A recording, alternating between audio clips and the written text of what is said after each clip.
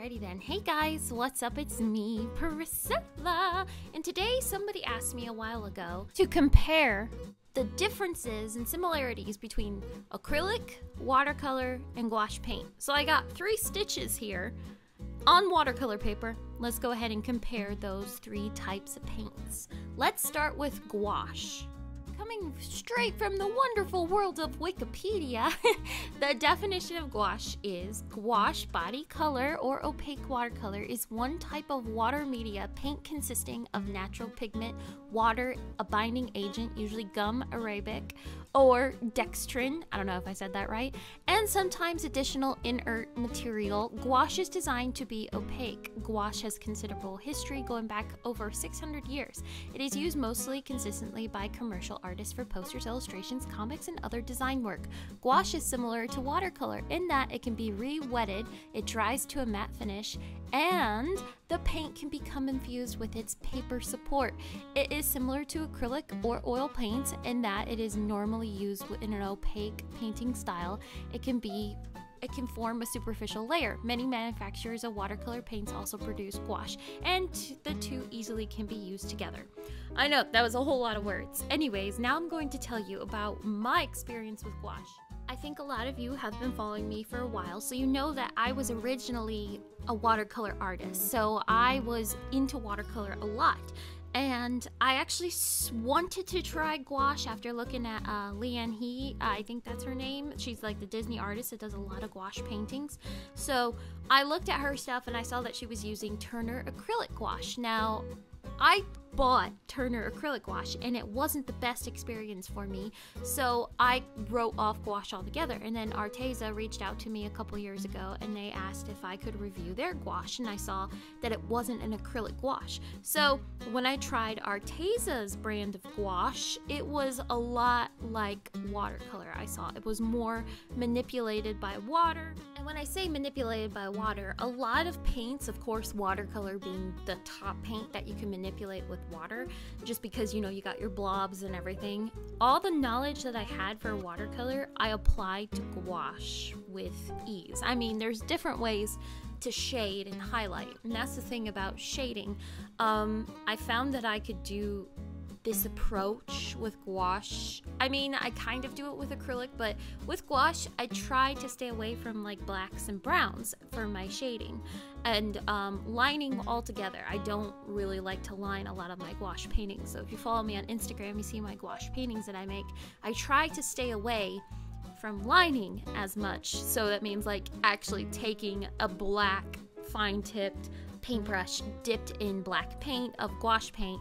I try to stay away from that and I try to use like the darker colors that are complementary to what I think the color of the shadows are being. So for example, if you look at Stitch right now, you can see his arms and his legs have that dark blue underneath him for the shading so things pop a little bit more and i find that that using that kind of type of illustration I don't know.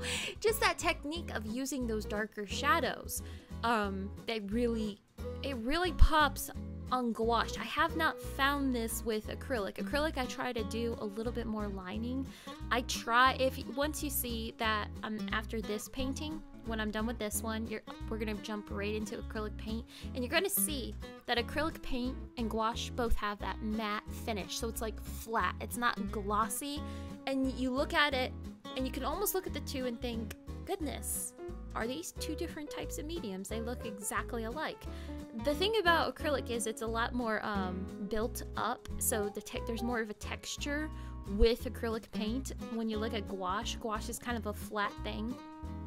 And when you look at watercolor, you can look at watercolor and you can see the blobs on top of blobs if you layer it co correctly from the beginning. If you start with that process I've taught before, if you start with like a first layer, let it dry, second layer, let it dry, third layer, let it dry, and then start going in and adding more details to your watercolor, you can tell when you're looking at watercolor.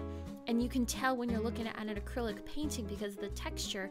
But gouache is kind of just a flat kind of medium and it's really it's really fun to play with and you can see um yeah see the linings how I try really hard I try hard not to use like the final distal lining but you can see where I have to obviously use it like under his legs and stuff for just a little bit more definition. We are back with the wonderful world of Wikipedia. Definition of acrylic paint is a fast drying paint made of pigment suspended in acrylic polymer emulsion.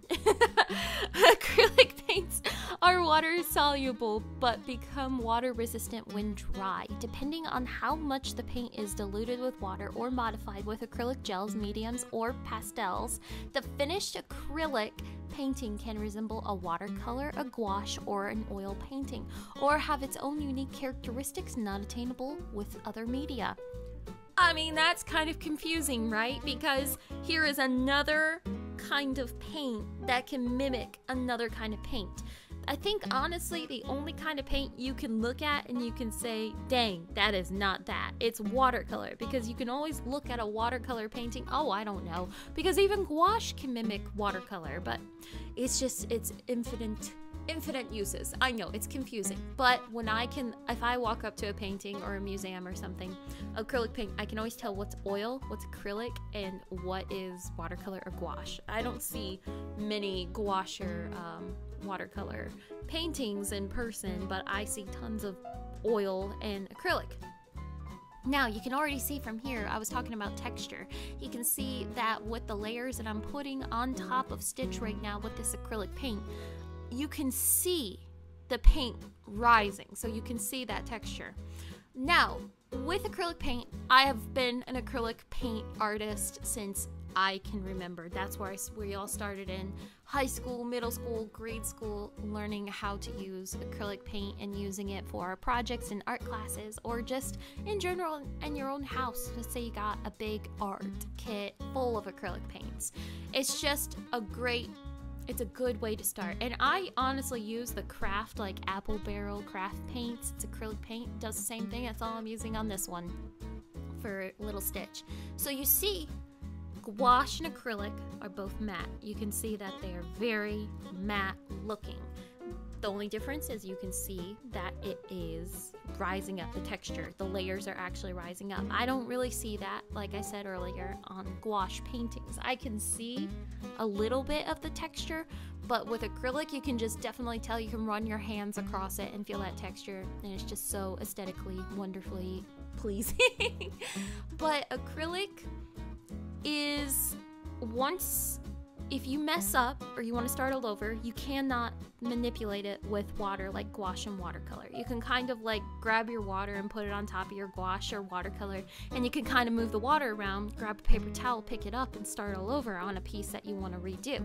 With acrylic paint, you can't do that. You have to go and grab like your white or whatever color that you want to go over where you messed up, and you have to go in and you have to go over it. That's the big difference.